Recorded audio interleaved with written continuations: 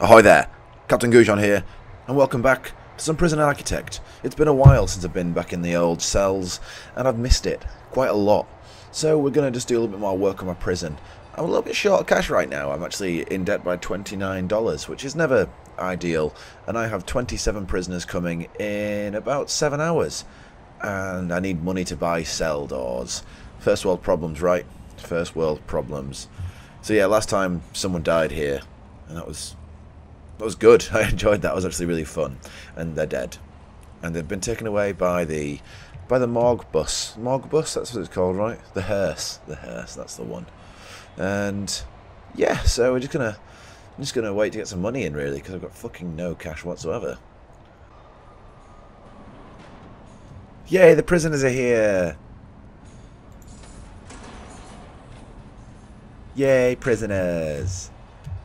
Who's gonna get? Who's gonna start crying first? Do we think? That's the question. Who will shed the first tear? Where? Where are those guys going? Where are you guys go? Inside. These guards are fucking awful. Literally, just leave the prisoners outside. Like, we can trust you guys. We trust you that you're gonna stay outside and wait for us because, you know, you're upstanding citizens is never the, you, the prisoners. For Christ's sake. How hard is your job? Interracial couple, another interracial couple, and another interracial couple. This is not a racist game. This is a very, very understanding level prison. I wonder what they talk, I wonder what they talk about when they come to visit people. How's your day been? Done anything new? Nope. Just the exact same routine every day. And then they got stabbed at lunchtime. Oh, Dominguez, you're so crazy. So crazy. I've got all these workmen just standing around doing nothing. Can can you please move this? Can you please... You're not capable of doing anything but workman stuff. Like building a wall. I've got, I've got two chefs that have to move the delivery inside. Jesus Christ. Lazy, lazy bastard. Yeah, yeah, you. You with your stupid goatee. Prick. Honestly. 30 more prisoners turning up tomorrow. oh, fuck. There is just no physical way I could build enough cells in that time with $79 in my pocket. Shit. I think while everyone's in a common room and having their food, we'll do a nice shakedown. Let's see what let's see what our, our prisoners are hiding. It's going to make them a bit upset though. That's why I'm going to put free fire on as well. So if I if I take all this stuff off them, can I can I sell it and make some money? That'd be useful if I could do that. I'm not sure if it's kind of like might be racketeering slightly, but I really could do with the fucking money. So if that'd be okay, that'd be great. Thanks. Oh shit! I shouldn't have sacked all those workers. Because now when I buy anything, I'm gonna have to pay another five hundred dollars for another fucking workman. God damn it. I would be a terrible, terrible architect, but a very hard ruler if I was going to be in charge of a prison. I would make sure that they were all going to get executed at the end of the day. Planting drugs in rooms, shanking them in the canteen, just, you know, real prison warden stuff. No god, the prisoners are here. Somewhere. There they are. And all the families are here as well, just to wave them goodbye. Because they'll never ever see them again. Yes. Oh my god, I'm nearly there. I can nearly taste the 20 grand.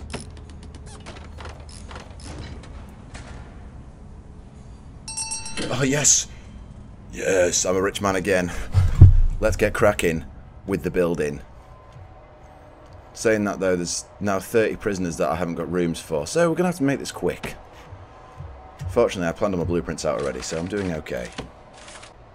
Wonder if they're the same guys that I sacked already and they're working really bitterly like, motherfucker. If I didn't need the money, I wouldn't come back to you, you son of a bitch. But I need the money, and I don't want to turn to selling drugs again. Last time, muling got a bit out of hand. Well, out of hand, in a rectum. One of the two. I don't know where I'm going to store all these prisoners. Look at look at how full the shower is. It's so full.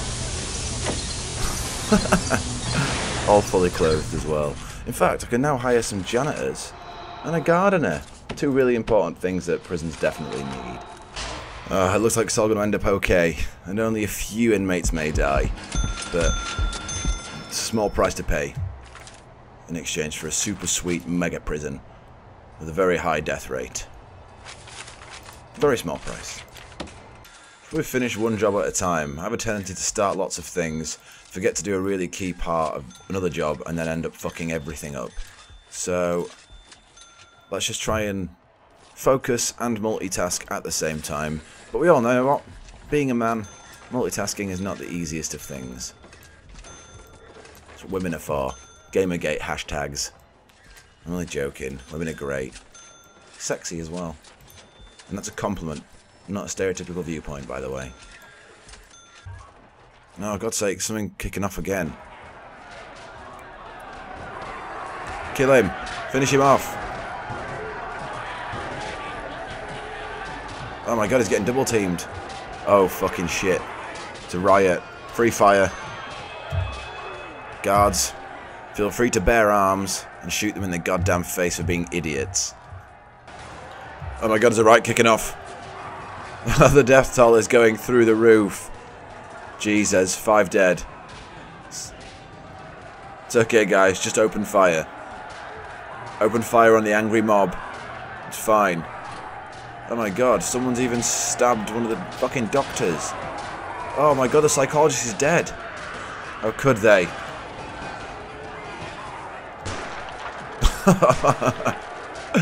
Holy fucking shit. Ten deaths today. It's okay, that's kind of thinning out the population so I might have enough cells for them. 11 dead. Guys, come on. Oh my god. oh shit me. Let's just let's just let's just let them fight it out. It'll be fine. This is what happens when you don't have enough cells for prisoners. How many dead guards? One, two, three, four, five, six, seven dead guards. That's okay though, because that's equal amounts of guards to prisoners were killed. But they have got keys. Let's just lock it down.